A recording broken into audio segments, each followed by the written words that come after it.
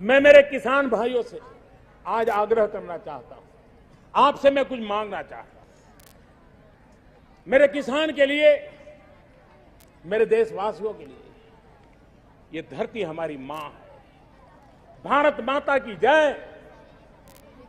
बोलते ही हमारे भीतर ऊर्जा का संचार होता है।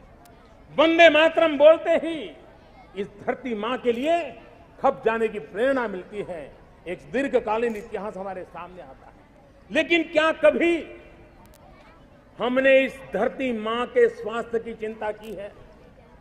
हम जिस प्रकार से केमिकल का उपयोग कर रहे हैं, केमिकल फर्टिलाइज़र का उपयोग कर रहे हैं, पेस्टिसाइड्स का उपयोग कर रहे हैं, हम हमारी इस धरती माँ को तबाह कर रहे हैं। इस माँ के संतान के रूप में, एक किसान के रूप में, मुझे मेरी धरती माँ को तबाह करने का हक नहीं है।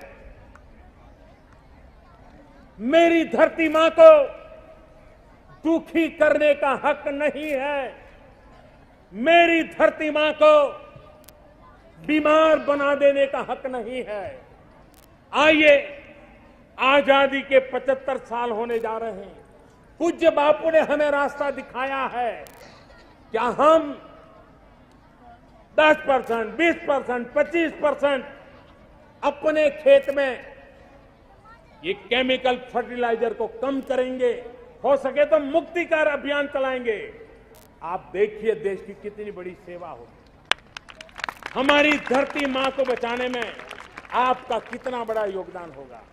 वंदे मातरम कह करके जो फांसी के तख्त पर चढ़ गया था, उसके सपनों को पूरा करने के लिए ये धरती माँ को बचाने का आपका काम उसके भी आशीर्वाद प्राप्त करेगा, जो कभी फांसी के तक पर चढ़ करके बंदे मातरम कहा करता था। और इसलिए मैं आपसे आग्रह करता हूँ, और मैं, मुझे विश्वास है कि मेरे देशवासी ये करके रहेंगे।